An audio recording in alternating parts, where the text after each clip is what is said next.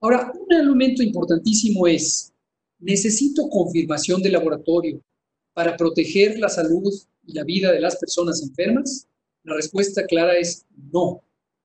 Las pruebas de laboratorio para COVID no son relevantes para tomar decisiones médicas, decisiones clínicas, decisiones que nos permitan el manejo y la vigilancia médica de las personas enfermas.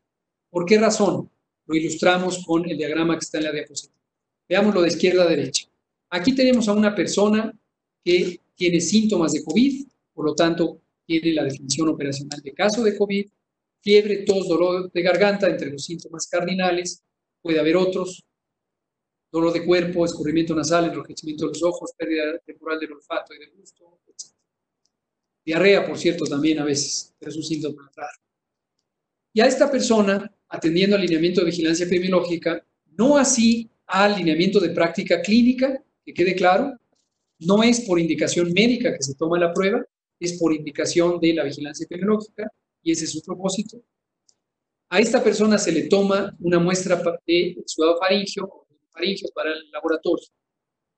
Pero el tipo de caso no depende del resultado de la prueba, sino de la condición clínica.